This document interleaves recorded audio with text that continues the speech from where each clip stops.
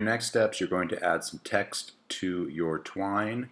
Um, the way you do this is you go to your passage, all right, you hit that edit pencil, all right, and what you're going to do is you're going to type the name of the city underneath your image. So the way you do that, just get a couple spaces here. I see this first picture I have is Berlin, Germany.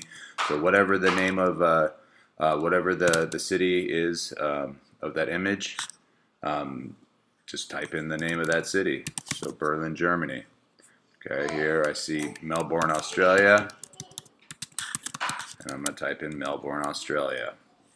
Okay, I'm going to do that for all my passages. So eventually I'll have all of them with the name of the city underneath the picture. Okay. All right, I'll do that one more time for this one. Go to P2, hit that edit pencil. I see this first picture is of San Francisco.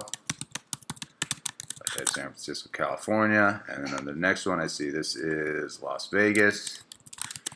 So I'm going to write Las Vegas, Nevada.